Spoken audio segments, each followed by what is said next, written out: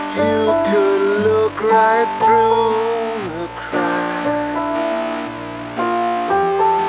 would you find yourself?